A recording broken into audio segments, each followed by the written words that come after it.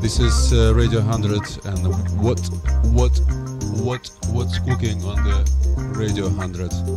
So we'll try to find out what's cooking of, or what's cooking up these days because the weather is so hot, incredibly unbelievably hot for this time of the year, maybe even unnaturally hot.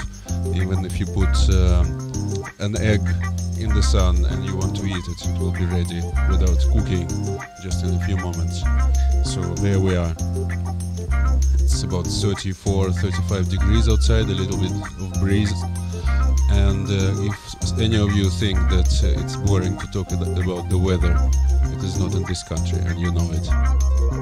And um, here is what what's cooking again, and, and we'll try to find out what's cooking and what's not cooking.